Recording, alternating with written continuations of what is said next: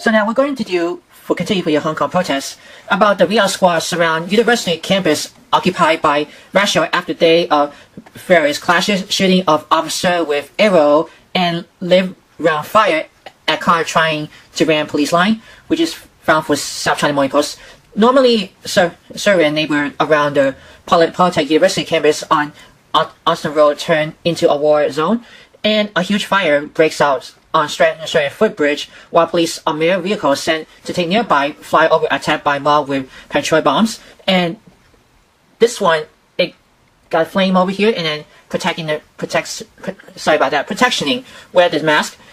And this is the ra ra radical, ra racial pro protesters and police clashed throughout the days. Oh, the days. Oh, but that's it. But that's what you got. So let's go to this paragraph. Now, what that says police laid Slade to Hong Kong Polit Polytech University on Sunday night, wanting people to leave or face action for taking part in a riot. That came after an extremely violent day that saw the two sides battling each other around the strategically located campus in Kowloon.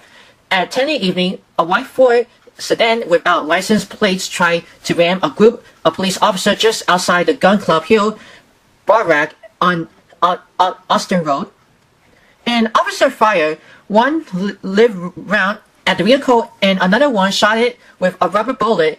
The car stopped and then take off towards Tsim Sha Tsui, police said. I'm going to give you a continued reading.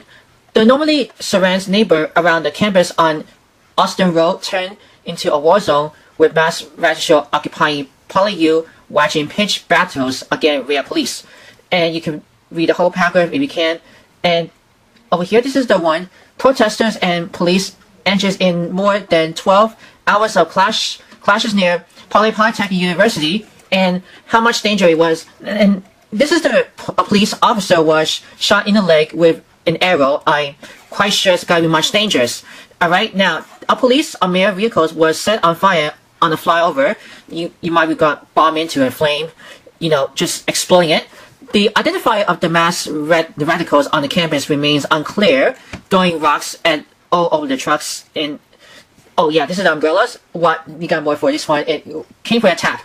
Protester anguish tear gas can cancel outside Poly Poly U, and I think we got more. That's one. Residents clear bricks for from Austin Road at Ch Chatham Road South near Poly U, and uh, also we got the Cross Harbor Tunnel remains shut you know, closing down. And just read the whole paragraph if you can. I'm gonna go put the link into the description box below if you want, if you can. So, just tell us what happened. Just write down comments below. We'll always before sharing. Subscribe to my channel and click the bell to see all notifications about new videos and latest video. Thank you very much for watching.